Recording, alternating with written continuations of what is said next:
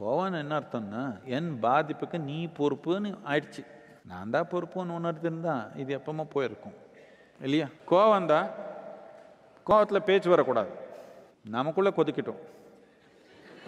இன்னொருத்தருக்கு கொடு இன்னொருத்தருக்கு கூட கொடுக்கக்கூடாது நமக்குள்ளே ஏதோ ஒரு நல்லது இனிப்பானது நடக்குதுன்னா பகிர்ந்துக்கலாம். நமக்குள்ளே ஏதோ ஒன்று தேவையில்லாத நடக்குதுன்னு பகிர்ந்துக்க மாட்டோம். இந்த அளவுக்கு பண்ணிக்கலாமா?